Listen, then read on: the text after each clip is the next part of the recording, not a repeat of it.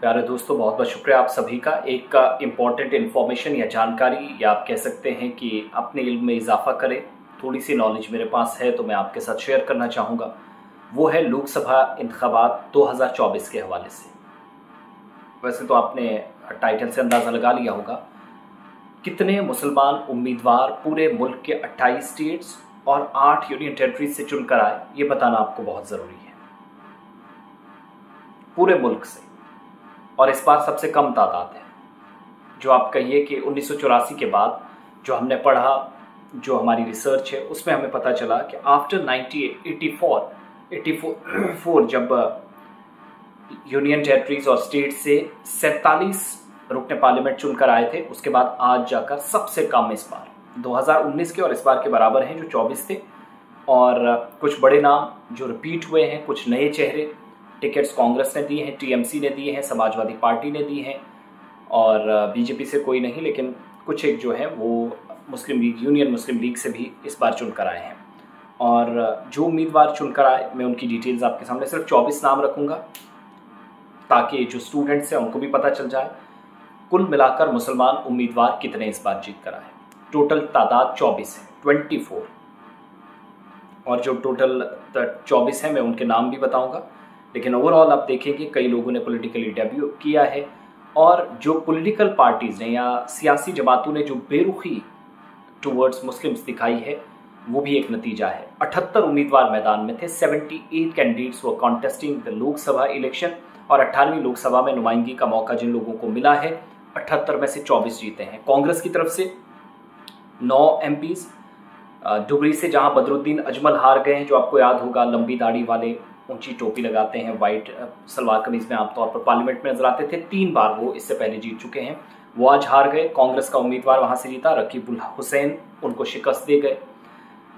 किशनगंज से मोहम्मद जावेद, कटिहार से तारिक अनवर वडाकड़ा तीन से शफी परमवीर, सहारनपुर एक से इमरान मसूद, मालदहा दक्षिण आठ से एहसान खान चौधरी, लक्षद्वीप एक से मोहम्मद हमदुल्ला सईद, ये कांग्रेस ने जिनको टिकट दिया था जो जीत कर आए।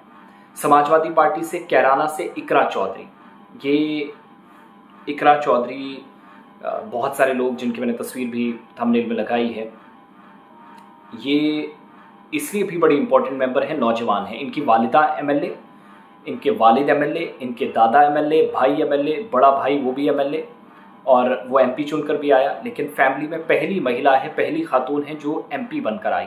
और समाजवादी पार्टी ने उनको टिकट दिया था, क्योंकि भाई भी काफ़ी, इनका जो पूरा ख़ानदान है, वो सियासी ख़ानदान है, और लंदन से पढ़कर आई हैं, और एलएलएम भी वहीं से किया, यानी कानून की डिग्री हासिल करके, और कानून की पढ़ाई करने के बाद ये वकालत भी शुरू कर चुकी थी। 2013 में वापस हिंदुस्तान लौटी। एक्टिव पॉलिटिक्स का हिस्सा पिछले नौ सालों से है। तो इकरा चौधरी जीत गई हैं। जो इन्होंने लीड ली है, वो उनचास हज़ार प्लस वोटों से।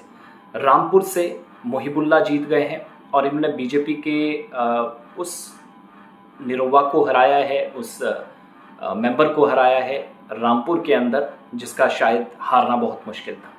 संभल आठ से जियाउर रहमान जीते, गाजीपुर से अफजाल अंसारी। मुख्तार अंसारी, आपको याद होगा जो गैंगस्टर थे, जेल में उनको स्लो पॉइजन दिया गया, इस तरह की इल्ज़ाम लगे, उनकी मौत हुई थी 28 मार्च 2023 2024 को, इसी साल। तो 28 मार्च के बाद काफ़ी हंगामा तो उनके भाई ये हैं। ये फिर से जीत कर आए हैं। अफजाल अंसारी, इनको टिकट दिया था समाजवादी पार्टी ने। तो कांग्रेस और समाजवादी पार्टी जिनको जितवा कर लाई है मैंने दिखा दिया अब टीएमसी, ममता बनर्जी वाली पार्टी, ये तो मैंने पहले कांग्रेस के बताया फिर समाजवादी पार्टी, यानी अखिलेश यादव, जो मुलायम सिंह यादव के बेटे हैं, वो उनके लोग जो जीत कर आए हैं। तो अब टी, टीएमसी, जहांगीरपुर नाइन से खलीलुर रहमान जीत कर आए हैं। बहरामपुर से यूसुफ पठान, जो क्रिकेटर थे, इन्होंने बड़े लीडर को हराया है। उनतालीस हज़ार प्लस वोटों से ये लीडर हैं Adhir Ranjan Chowdhury. Leader of opposition भी रहे हैं और काफ़ी ज़्यादा शोर शराबा करते थे ऐवान के अंदर और वज़ी अजम को कई बार चुप कराते थे। मुर्शिदाबाद 11 से अबू ताहिर खान, बसीरहाट 18 से एस के नूरुल इस्लाम और उलूबेरिया से सजदा अहमद ये खातून हैं। फीमेल मेंबर पार्लियामेंटेरियन है। इसके अलावा Islamic United Muslim League E T Mohammed Basheer Malappuram, Kerala से जीते।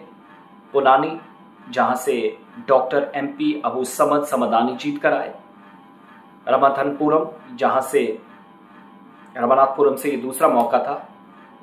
नवाज़ कानी के जो जीत कर आए, ये आई यू एम एल के कैंडिडेट थे। ऑल इंडिया मजलिस मुस्लिम की सदर का दबदबा बरकरार रहा। असदुद्दीन ओवैसी तीन लाख अड़तीस हज़ार प्लस वोटों से जीते 2004 से जीते आ रहे हैं और माधवी लता इस बार उनके सामने थी। मुसलमानों के खिलाफ जो बयान थे और नफरत भरी सियासत जोड़ने की, नफरत पर मबनी जो बयान थे, बोल थे, उनको आईना दिखाया। हैदराबाद की आवाम ने तेलंगाना से ओबीसी पांचवी बार जीते 2004 से जीतते चले आ रहे हैं और ये सबसे बड़ा मार्जिन है जहाँ वो जीते। पिछली बार दो लाख चालीस हज़ार वोटों से जीते थे, इस बार तीन लाख अड़तीस हज़ार से जीत तो उनके लिए अच्छी खबर ये नहीं है क्योंकि बिहार से अख्तरमान जो पार्टी के सरबराह हैं, बिहार में वो भी हार गए और रुकने पार्लियामेंट जो एक बार रह चुके हैं महाराष्ट्र के औरंगाबाद से, जर्नलिस्ट कम पॉलिटिशियन, इम्तियाज़ जलील हार गए। तो सैयद इम्तियाज़ जलील के लिए भी अच्छी खबरें नहीं। आज़ाद उम्मीदवार जो मुसलमान हैं, इंजीनियर अब्दुल रशीद नॉर्थ कश्मीर से बारामूला से, लद्दाख से हाजी हनीफा जान आगा सैद रुल्ला मेहदी श्रीनगर से और अनंतनाग राजौरी से मियांता तो ये मुस्लिम कैंडिडेट्स हैं जो 48 जीते थे, सैंतालीस जीते थे उन्नीस सौ चौरासी में। वो रिकॉर्ड अब नहीं जा सका है, लेकिन इस बार 24 कैंडिडेट्स जीते हैं जो नुमाइंदगी करेंगे। अभी कौन कितना रिप्रेजेंटेशन किस हिसाब से करेगा, वो दूसरी बात है, मगर अभी तक की सूरत हाल है। तमाम तलबा या जो देखने वाले लोग हैं, वो बाकी लोगों तक पहुँचाइएगा कि पाँच सौ तैंतालीस सीटों में नुमाइंदगी कितनी है मुसलमानों की। वोट बैंक की आप बात करेंगे तो मुख्तलिफ़ सर्वेज बताते हैं over seventy seven point five percent सतहत्तर अशारिया पाँच परसेंट या सेवेंटी सेवन पॉइंट पाँच प्रतिशत से ज़्यादा वोट मुसलमानों ने कांग्रेस या इसके हिमायतियों को दिया और ज़्यादा वोट कांग्रेस को गया है। यूपी के अंदर और उसका असर ये कि सैंतीस सीटें जो है वो बीजेपी सपा से हार गई। कांग्रेस छः पे जीती, जिनमें राहुल गांधी जीत कर आए, के एल शर्मा जीत कर आए अमेठी से। तो ये मैक्सिमम वो एरियाज़ बारह हल्के ऐसे जहाँ पर अक्सरियत मुसलमानों की ये जो चौबीस मैंने बताया ना, चौबीस में बारह मुसलमानों वाले मुस्लिम अक्सरियती इलाके हैं और चौबीस में से बारह ऐसे हैं जहाँ पर हिंदू मेजोरिटी में, लेकिन उन्होंने भी मुसलमानों पर भरोसा किया। ईमानदार लीडर होंगे, शायद उनकी छवि अच्छी होगी, सियासत अच्छी होगी डेवलपमेंटल प्रोजेक्शन अच्छी होगी डेवलपमेंट और तालीम, सेहत, इन मामला पर शायद बात करने वाले लोग होंगे जिनको आगे लाने के लिए इस बार तमाम लोगों ने कोशिश की तो बहुत बहुत शुक्रिया। एन की हुकूमत जो है वो बनने वाली है। चीज़ें लगभग तय हैं, लेकिन डगमगाने वाली सरकार ज़रूर इस बार होगी। सेफ़ चेयर पे कोई भी नहीं होगा, मगर उन सबके दरमियान ही चौबीस रुकने पार्लियामेंट क्या है इनका रिपोर्ट कार्ड ज़रूर अगर ज़िंदगी रही तो पाँच साल बाद या पहले एक साल में क्या किया, वो भी मैं आपके सामने ज़रूर रखूँगा। Thank you.